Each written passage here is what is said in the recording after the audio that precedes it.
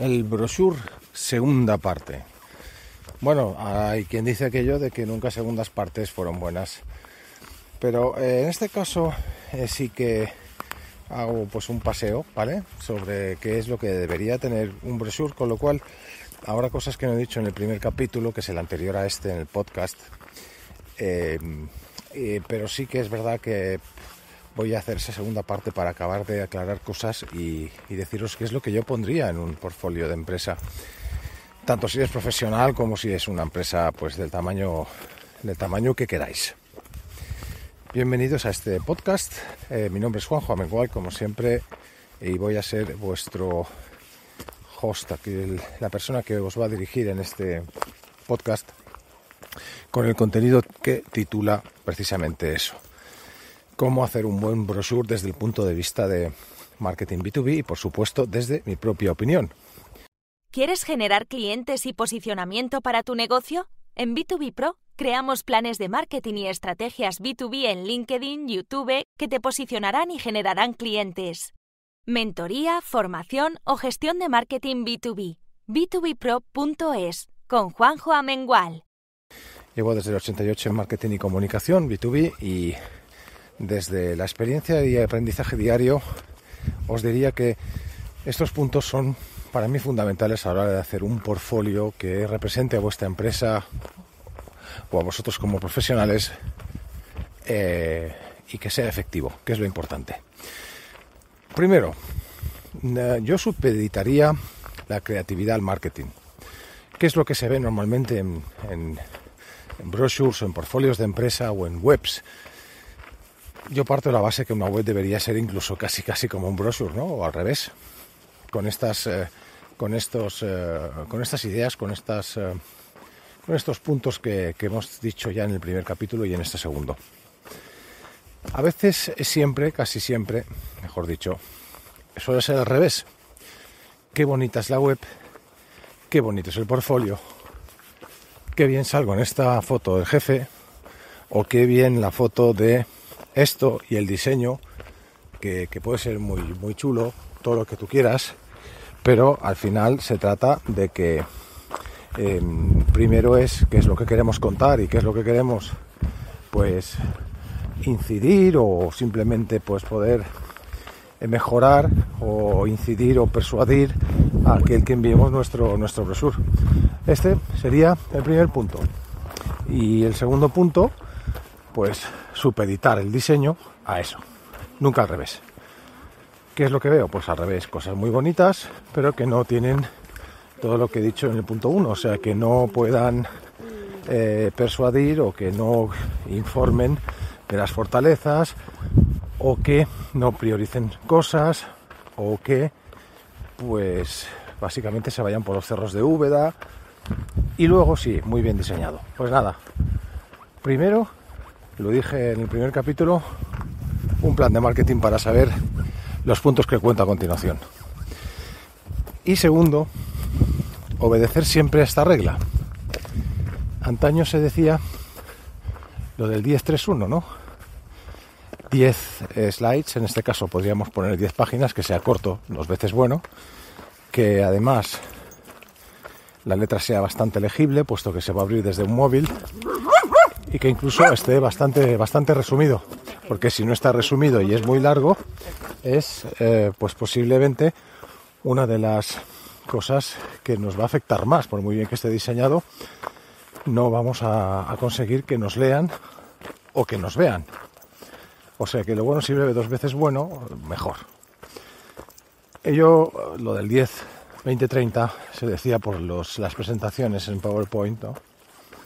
Que eran, o de Keynote, si quieres llamarlo así, que recomendaban siempre que fueran 10 slides, la presentación de 20 minutos, ahí evidentemente no cabe el brochure, y tamaño de letra 30. Porque se, se suponía, o se supone, se sigue suponiendo hoy, que quien habla tiene que rellenar esos espacios y aumentarlos con su conocimiento.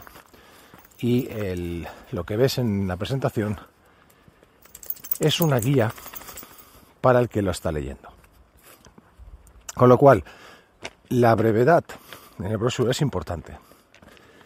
Evidentemente hay que primero planear lo del plan en las fortalezas, qué necesidades cubrimos, como dijimos ya en el primer capítulo, ver claramente a quién nos dirigimos y priorizar las cosas importantes delante y lo posterior después. Evidentemente, pues hay que contar con imágenes todo lo que estamos apostillando con palabras. O sea, si nosotros tenemos pues tres plantas, pues sí, poner las tres fotos de las tres plantas es interesante con la dirección de cada una de ellas y los datos importantes. ¿Cuánto hemos facturado? ¿Cuántos clientes tenemos? Pues esos datos, si se pueden poner, si nos lo permite nuestro consejo de administración o los socios, si son buenos, pues es un dato de valor cuantificable que ayuda a quien recibe ese portfolio de empresa a entender nuestras fortalezas. A ver, em, tú como empresa o tu empresa tiene unas fortalezas. No te escondas de ellas, yo insisto en ello. ¿Cuál es la primera, la segunda, la tercera? Pues eso es lo que tiene que estar bien delante. Entonces, nosotros somos esta empresa que cubre estas necesidades a través de esta propuesta de valor. ¿Y en qué somos diferentes? Nosotros somos diferentes si nos tienes que contratar o si nos contratas, que sepas que lo que estás contratando es esta diferenciación.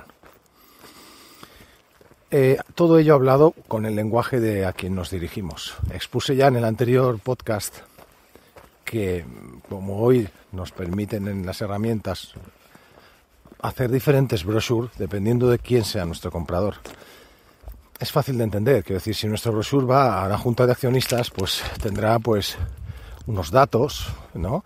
De, beneficios, impuestos antes de vida, no sé qué, eh, beneficios antes de impuestos, quiero decir, tendrá unos datos que, beneficios por acción, que son dirigidos al accionista. Lo que no podemos hacer es enviar ese brochure a una persona que tiene que ser nuestro cliente, porque se le atrae al payo la cantidad de beneficios que sacamos sobre vida. Es más, si le, dimos, si le damos esa información de lo bien que nos va y lo mucho dinero que ganamos, significará que lo primero que empezará a pensar es, y esto es así, digo, si este gana mucho dinero es porque cobra mucho y no me conviene como empresa porque quiero a lo mejor un presupuesto más comedido. Podría ser que pensaran así, ¿no? Entonces, quiero decir que es verdad lo de proyectar éxito, que funciona, pero vamos a ver, vamos a proyectar éxito, éxito económico, a nuestros accionistas. Eso es un brochure diferente. En general suele haber siempre el mismo brochure. El mismo brochure que va dirigido al accionista suele ser el mismo que presentan las empresas. Que está bien que sí, que hay que presentar grandes fortalezas para que sepan que somos de fiar y que somos una empresa de confianza como proveedor y partner. Pero yo creo que tiene más potencialidad, y eso sería un segundo brochure, de cara al cliente, el potenciar otros valores, como por ejemplo pues que trabajamos con determinadas empresas, que hemos hecho cientos de miles de servicios o de productos fabricados de eso que necesita nuestro cliente, eso es confianza al final. Entonces, como veis, según el chico al juguete que decimos aquí en mi tierra y no me canso de repetir, es importante. Es importante, porque eh, no me canso de ver eh, mis clientes, nuestros clientes, a los cuales pues enrutamos con planes de marketing y les enseñamos a hacer precisamente esto que cuento cada día en nuestros podcasts y en nuestros vídeos, eh, pues les enseñamos a eso, a, enfocar, a comunicar para vender, pero también para ser la marca que esté presente en la mente de sus consumidores ahora y siempre. Entonces, eh, a veces comunicamos algo al público en general y eso es un error porque como entenderéis, un accionista quiere resultados, pero un potencial cliente quiere el mejor producto de confianza al mejor precio también, si es posible. Les da igual si nosotros nos compramos un Mercedes cada mes. Es más, posiblemente lo primero que piense es que este Mercedes lo saca del sobreprecio que te puede dar el día de mañana. Dicho esto, importante, fortalezas. Diferenciación. Importante, según el brochure, según el tipo de cliente, habrá dos o tres o cuatro que lo vaya a leer. Lo más importante arriba, lo menos importante y el desarrollo de las noticias, que puede estar desarrollado con letra pequeña, siempre al final por si quieren seguir leyendo. Pero primero impactémosles y luego que se llenen de toda la literatura posible si quieren más información. Em, voy a incidir en el aspecto técnico de un brochure. No solamente de imágenes vive el hombre, sino que hoy, gracias a Dios, vídeos, si pueden ser cortos, mucho mejor, eh, pues podrían estar embebidos en un PDF perfectamente.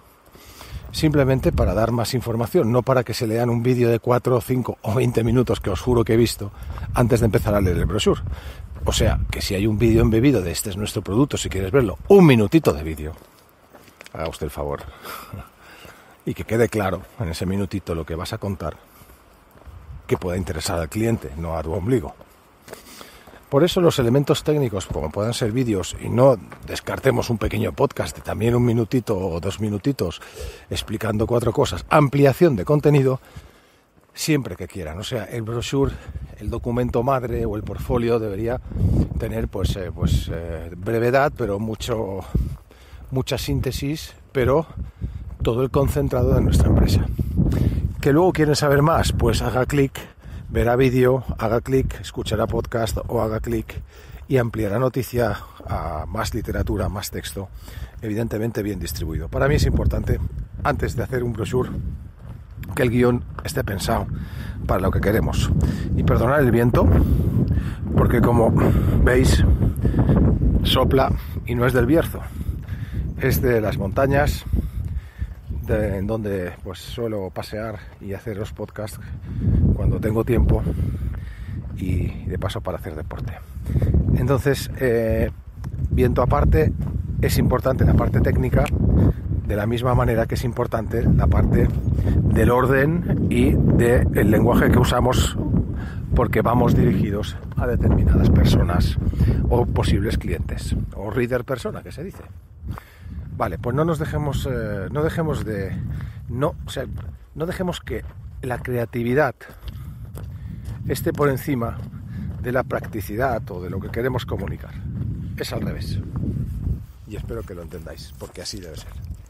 La parte creativa, como decía, es importante, pero tiene que estar subyugada a la parte, pues, digamos, más persuasiva. Esto a mí lo tengo clarísimo desde el minuto uno. ¿El tamaño importa? Bueno, mientras eh, lo importante lo pongas delante y luego vayas desarrollando, puedes hacerlo largo, pero recientemente estuve en un restaurante en, Asturias, se llama Tierra Astur, que el menú, el menú, bueno, era, no se exagero, pues había, no sé si había 70 páginas, 50 páginas, una barbaridad y evidentemente todos los platos exquisitos con unas ganas, pero eso mareaba, o sea, pues pensar en eso, pensar que el resultado tiene que ser pues fácil de, asumir, ¿no? Hoy en día en el PDF que les vayas a enviar como brochure, pues eh, podrías perfectamente ampliar cosas pues pulsando el botón y que se abra que se abra el, la web donde haya ampliación o el vídeo que amplíe la noticia, por ejemplo. Es una, es una idea. Otro tema es que sería interesante ver si hacemos una versión en vertical. Pensadlo bien. ¿Cuántos de vuestros eh, clientes le vais a enviar un brochure por WhatsApp o por correo electrónico?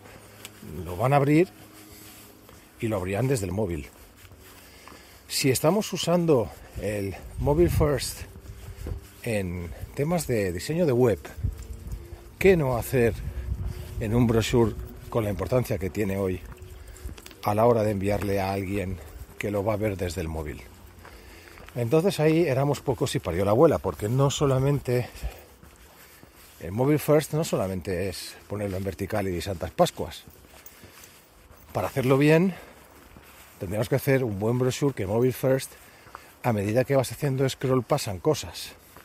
Con todo el diseño que queráis, todo bonito, ahí no entro pero hay que crear eh, esa historia invertida de lo más importante arriba, la necesidad cubierta.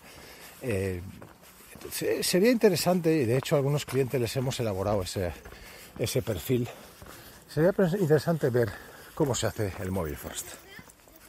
¿Quieres generar clientes y posicionamiento para tu negocio? En B2B Pro creamos planes de marketing y estrategias B2B en LinkedIn, YouTube que te posicionarán y generarán clientes.